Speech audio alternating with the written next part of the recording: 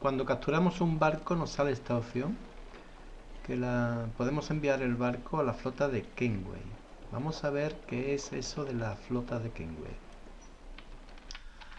Para acceder a la, para acceder a la flota de Kenway podemos hacerlo desde dos ubicaciones. Desde la base de operaciones del pirata que es en Gran Inagua en su residencia veremos que aquí pues hay una mesa para poder acceder a la flota.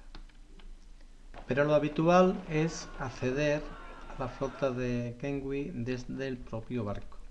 Desde su camarote accedemos a la flota. Esto es la flota de Kenway. Y aquí aparece el barco que hemos mm, capturado recientemente. Tenemos ya aquí una pequeña información, la potencia de fuego del barco que hemos capturado, la velocidad y el espacio de carga. Cada barco pues es distinto y todos estos mm, puntos pues varían dependiendo del barco, como es lógico. Aquí tenemos una opción que podríamos hundir este barco por 330 gemas. ¿Qué es esto de las gemas? Esto nos va a valer las gemas para poder eh, poner muelles. Eh, ahora mismo tengo yo 14 eh, muelles habilitados, 2, 4, 5, 6, 7, 8, 9, 10, 11, 12, 13, 14 y me falta uno por habilitar. Este muelle para habilitar un muelle pues tendrá un coste, ¿vale? En estos momentos no me hace falta habilitar un muelle porque tengo aquí disponible 2, 4, 5 muelles. Eso es eh, debido a que he destruido varios barcos y por eso tengo muelles mm, disponibles. Mientras más muelles vayamos teniendo, más nos va a costar esto de las gemas. ¿Cómo conseguir estas gemas? Esto no lo vamos a conseguir en el propio juego. La flota de Kenwi es un juego que es aparte de, mm, de lo que es el juego eh, en sí. está relacionado porque los beneficios económicos que saquemos aquí eh, pero solamente lo que es el dinero, solamente los beneficios económicos mm, relacionados con el dinero, eh, pues sí van a pasar a nuestras arcas, pero es como un juego totalmente aparte. Lo voy a explicar. La primera pantalla que nos va a salir en la flota de Kenway es los barcos que tenemos en este momento comerciando. Y vemos que aquí tenemos dos del mismo tipo, HMS Dragón, y están en esta ruta comercial que van a Sudáfrica. Aquí veremos en el mapa marítimo toda la fruta que tengo en estos momentos activada. Iniciamos la... Nuestro punto de origen es este. Esto que está aquí en medio, este es nuestro punto de origen. Y lo que yo recuerdo cuando inicié la flota de que estaba activada el Golfo de México, y no sé si también estaba activada esta colonia británica del sur de Norte de América. El caso es que todas estas en ruta pues han ido saliendo posteriormente a medida que vamos progresando en el juego. Eh, ¿Qué es lo que hay que hacer aquí? Bueno, pues comerciar con estos productos, que tal como he comentado en la pequeña introducción de este vídeo, pues esto es unos productos que están aparte del juego original, no tiene nada que ver con el juego original, mm, sí el dinero que vamos a conseguir, pero estos productos los vamos a conseguir en este juego de la flota de Kenway, no en el juego original. ¿Cómo se consiguen estos productos? Porque aquí si vemos las misiones de, por ejemplo, en, Sudáfrica, pues veremos que nos hacen falta estos productos, disponer de estos productos. Si no los tenemos, no podemos comerciar. También veremos que hay 10 y 5. Esta es la cantidad del volumen de carga que necesitamos. Esto es un volumen bajo, entonces no hay problema, pero por ejemplo, hay un volumen de carga de bastante importante. En este caso son 30, 25, 15, 20, 10. Vamos a, poner otro porque veremos la importancia que tiene eso. Vamos a ver, por ejemplo, en el Golfo de Vizcaya. Vemos las misiones. 20, 10, no. Ah, bueno, aquí por ejemplo es 60. ¿Veis esto? Habitualmente con los barcos que empezamos pues no vamos a tener ni siquiera aquí sin, sin, embargo son 40 más 30 son 70 veis o sea es importante el tema este del volumen de carga porque vemos aquí los barcos que yo tengo en estos momentos ya la partida tengo más avanzada y por lo tanto dispongo de navíos de guerra que tienen un espacio de carga de 70, ¿eh? pero habitualmente cuando empezamos con el juego pues son unos barcos pequeños. Este es un mercantín un poquitín más avanzado, pero veis que tiene un espacio de carga de 35, por lo tanto en algunas misiones, como la del Golfo de Vizcaya, pues no podría realizarla. ¿Veis? Esta de 60 no podría realizarla ese bergantín. Entonces tendríamos que hacerlo con otro que tuviera un espacio de carga de 60, por ejemplo este navío de guerra. Entonces mm, os daréis cuenta que poco a poco mm, prescindiremos de estos barcos y nos haremos de estos otros, porque aparte de que tienen mayor espacio de carga, pues también tienen una potencia de fuego mm, mucho mayor. No es lo mismo la potencia de fuego de esta fragata que tiene 33 o la de Bergantín que tiene 25 que esta del navío de guerra que tiene 63. ¿Para qué sirve la potencia de fuego? Bueno, pues el mapa marítimo, nuestra misión, como es lógico, es comerciar, pero ahí vemos que las rutas comerciales aparecen en distinto color. Las que son en rojo es que son las más peligrosas porque hay enemigos, está plagado de enemigos y nosotros lo que tenemos que hacer es limpiar esas, esas rutas de enemigos. Lo que pasa es que no siempre tendremos barcos, sobre todo al principio, no, siempre tendremos barcos lo suficientemente potentes para mm, poder em, hacer frente a esos enemigos. Al principio empezamos con el Golfo de México, con una flota enemiga no muy potente y podemos enfrentarnos a ella. Poco a poco se van habilitando otras rutas comerciales y a medida que vamos avanzando las rutas comerciales pues son más peligrosas porque los enemigos cada vez son más fuertes y por lo tanto tendremos que tener barcos, nuestros barcos, tenemos que capturar porque estos, estos barcos no se compran. Como es lógico, esto está basado en un pirata, no va a comprar el barco, lo que hace es capturarlo. Entonces tendremos que capturar los barcos que tengan mayor espacio de carga y también es conveniente que también tenga potencia de fuego. Y esto pues eh, estas atribuciones pues lo tienen en navío de guerra. Vamos a necesitar más espacio de carga y ya lo veremos posteriormente. No sé si aquí tengo uno porque a lo que son los cazadores de este este se lo se lo cogí yo ayer a los cazadores estos de pirata cuando tenemos mucha captura estamos capturando y destruyendo muchos barcos pues provocamos que hay unos cazadores de pirata que vienen a, por nosotros. Entonces poniendo ese nivel de, de, ¿cómo decirlo?, de que somos muy peligrosos y están en nuestra búsqueda, en un nivel de 3 iconos rojos que aparecen arriba, pues ya aparecen los cazadores de pirata con unos barcos más potentes. En este caso un navío de guerra que vemos que es más, mm, tiene más espacio de carga e incluso más potencia de fuego que los navíos de guerra que estamos acostumbrados a ver en el, eh, en el mapa del juego. Ahora mismo tengo esta flota, tengo también, mm, puedo tener hasta 14 barcos, tengo 10, he eliminado algunos para dejar espacio a los barcos de, de guerra y tengo 4 muelles disponibles. En el caso de que capture algún barco más, tengo un, muelle disponible para meterlo sin problema. Puede ocurrir que capturemos un barco muy muy bueno y no tengamos muelle ni tampoco tengamos el dinero suficiente para añadir un nuevo muelle. Veis que esto cuesta 5000 añadir un nuevo muelle. Vamos a hacerlo. Confirmamos y ya tenemos añadido un nuevo muelle. ¿Veis? Puedo tener ahora 15 barcos, tengo 10. Es importante porque me ha pasado un par de veces, al no entender muy bien el juego, de que capturo un barco de guerra con bastante potencia de fuego y bastante espacio de carga y ahora resulta que no tengo eh, dinero suficiente, bueno, dinero no, gemas suficiente para poder eh, tener un barco más. El juego tiene ahí un pequeño fallo, creo yo que es un fallo, porque no te permite otra opción que destruir el barco. Eh, no puedes ver las rutas comerciales, ni los barcos, ni nada. Ahí hay un pequeño fallo, creo yo, entender, que cuando capturamos un barco y no tenemos eh, suficientes gemas, no podremos añadirlo a nuestra flota de Kenway. Ahora vemos aquí que están estos dos barcos en progreso, tal como hemos visto, pero la ruta pues está como en naranja y por lo tanto es no es segura. Esta es la Sudáfrica y deberíamos pues mejorar la eh, seguridad de esa ruta y por lo tanto vamos a realizar un combate naval. Estos son los barcos en una fragata y una fragata, son dos fragatas las que están ahí dando por culo y vamos a, intentar coger barcos que sean mejores que la fragata. Eh, aquí veremos, hay unas bonificaciones, tenemos unas bonificaciones, esto es de velocidad.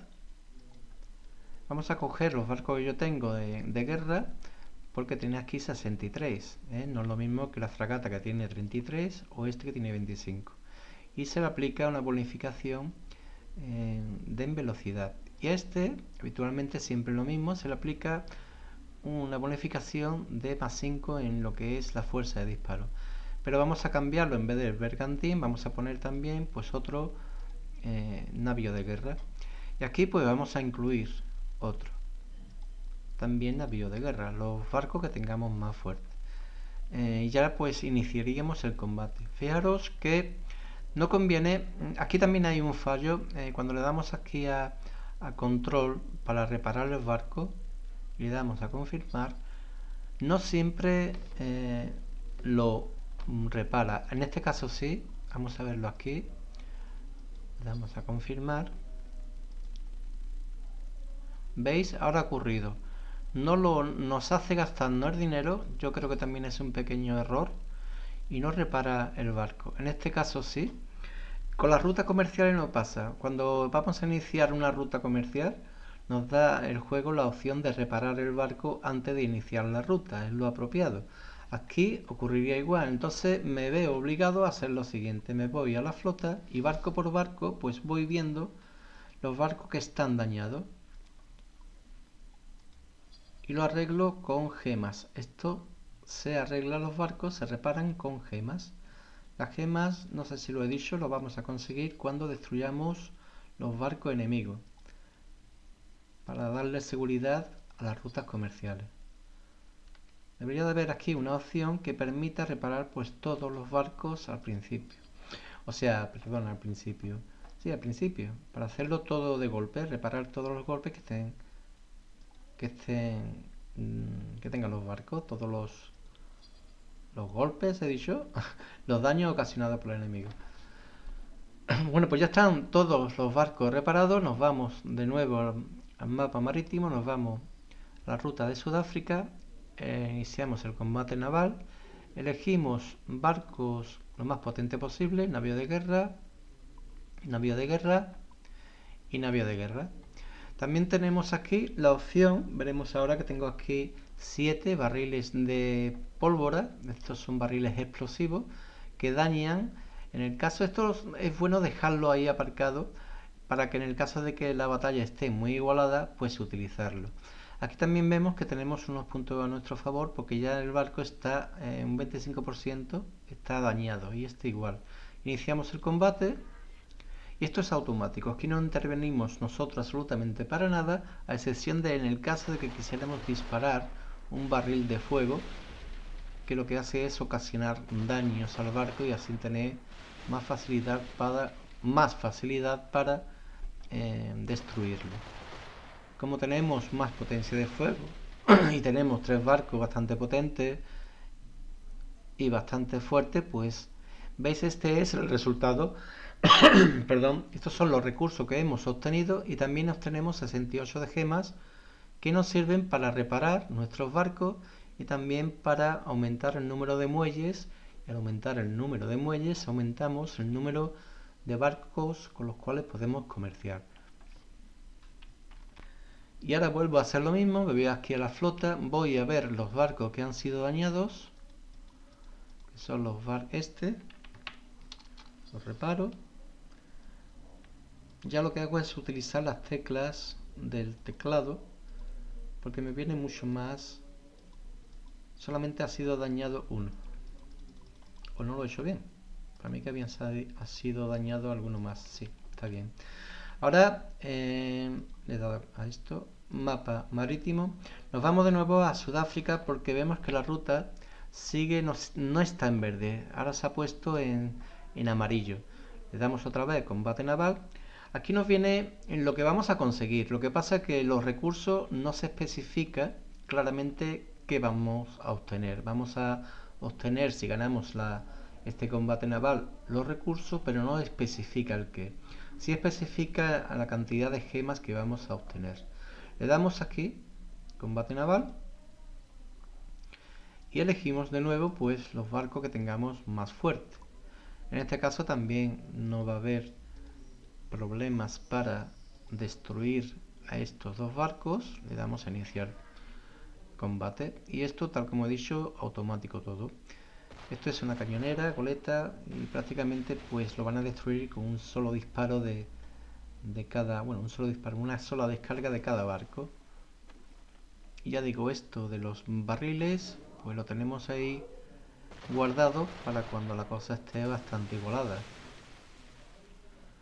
Solamente en este caso hemos recibido daño de este Odín. Y este también un poco.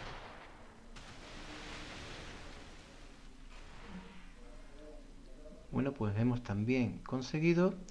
Yo me imagino que ya se pondrá exactamente. Ya la ruta es segura y por lo tanto entiendo que nuestros barcos, estos dos barquitos que tenemos aquí, los barcos están en progreso, pues mm, llegarán a su destino, que es nuestro punto de reunión, pues sin dificultades. Y como tenemos aquí eh, barcos disponibles, solamente tenemos dos barcos y tenemos eh, dos barcos comerciando y tenemos aquí pues una eh, total de 10 barcos, pues podemos de todas maneras esto lo voy por ejemplo, vamos a ver la flota, esto lo voy a hundir barco, bergantín, porque esto lo he puesto, lo he capturado yo para hacer este vídeo. Y esta fragata pues también. Hundimos el barco y vemos cómo las gemas pues aumentan. Aunque ya las gemas, ya digo, ya tengo todos los muelles habilitados y ya las gemas solamente me van a valer para reparar barcos. Esta es la última ruta que se me ha habilitado el noroeste de, Europa. Eh, veríamos que tiene, nos da mucho más pasta, 3100, 3200. Lo que pasa que lógicamente, pues eh, el combate naval que vamos a tener que realizar, pues es un poquitín más eh, peligroso, porque tenemos aquí una vía de guerra y también tendremos que eh, realizar ese combate naval pues tres veces porque está totalmente en roja vamos a hacerlo vamos a, poner pero vamos a poner aquí esto es mm, de velocidad. Aquí me interesaría que estuviera el, el que he capturado a los este este tiene 70 veis en vez de 63 como los demás tiene 70 y le añadimos pues más 5 puntos. Y también pues otro navío de guerra aquí. Los tres son navíos de guerra pero hay una pequeña diferencia en la potencia de disparo. Vamos a iniciar el combate y vamos a disparar pues eh, algún barril de eso en el caso de que veamos que está la cosa chunga vamos a preparar esto ese navío de guerra es el principal Vamos a lanzar un barril. ¿Veis? Ahora que se ha puesto en... Eh, está más iluminado. Es cuando hay que disparar el barril. Ya lo hemos dañado un poco. Y podríamos dañarlo de nuevo en el caso de que veamos que se complica la cosa. Este, por ejemplo, está bastante dañado. Tenemos que haberle dado... Vamos a darle otra vez porque como tengo ahí barriles es bastante potente este este navío de guerra enemigo uy solamente le faltan disparos sí, hemos conseguido ganar esta, este enfrentamiento también bueno pues hemos conseguido 110 que es bastante cantidad de gemas y estos productos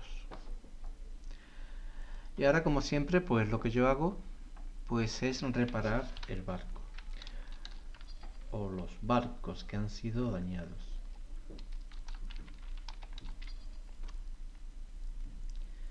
Y para ello pues utilizo hasta el final. Esto lo organiza el juego. Los navíos más poderosos están al final, los más enclencles al principio. Volvemos al mapa marítimo, hemos dicho que noroeste de Europa, pues volvemos al combate naval. En este caso, a medida que van transcurriendo las batallas, pues son más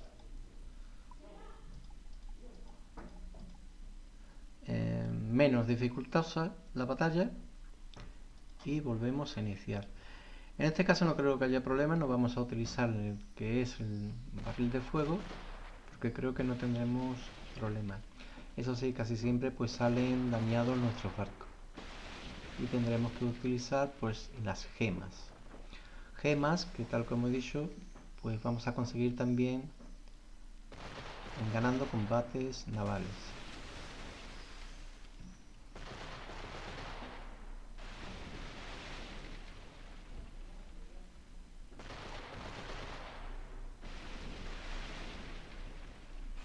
pues nueva victoria y todos estos productos en nuevo estado es peligrosa, tiene que estar en verde, por lo tanto nos hace falta un nuevo combate. Pero primero a reparar el barco. Este también.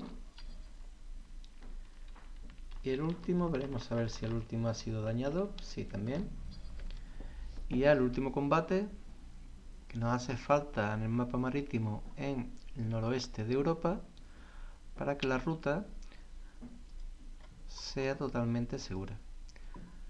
En este caso no hace falta ni poner a nuestro gran navío, el mejor que tenemos en este momento, iniciamos la batalla naval, una goleta y una cañonera. Esto comentar que las rutas estas comerciales, aunque eh, nos libremos de los enemigos, se vuelven a llenar otra vez de barcos enemigos y tendremos que de nuevo pues realizar nuevos combates navales.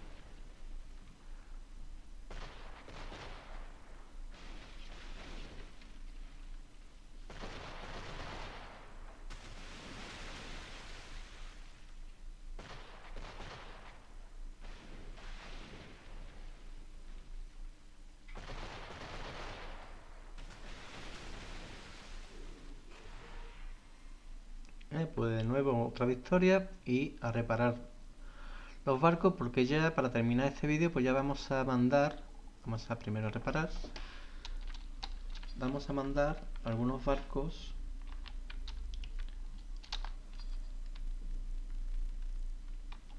Eh, lo, lo suyo para que sea esto más rápido pues es utilizar los tres primeros barcos y que sean de las mismas características para facilitarnos las tareas que hay que realizar. Nos vamos ya mapa marítimo, nos vamos a, a esta ruta que tenemos en verde, por tanto es totalmente segura. Vemos las misiones, tenemos 5 misiones y vamos a ver, aquí tenemos 75, 60, 50, 75 y 50. No a todo vamos, no recuerdo ya eh, no recuerdo si nuestro barco, este, sí, este tiene hasta 90. Entonces sí lo podremos enviar y lo vamos a enviar ya. En alguna ocasión me ha pasado que he enviado, no lo he pensado bien, he enviado el barco que tenía mayor eh, capacidad, lo he enviado al principio y luego no he podido aprovechar una ruta más beneficiosa, porque los otros barcos no podían. Es que tiene de 50 y por lo tanto pues sí podemos porque ya los barcos que tengo todos tienen esa capacidad. Así que lo enviamos también. Y volvemos, de nuevo aquí tenemos 3100 lógicamente tenemos que coger las rutas más beneficiosas. Esta por ejemplo no podemos enviar a ninguna y ya le damos a la que tenemos por ejemplo para terminar a esta misma enviamos el barco y hasta aquí porque ya la perra se ha puesto hasta a taladrar. Vamos a enviar esto aquí. Hasta luego.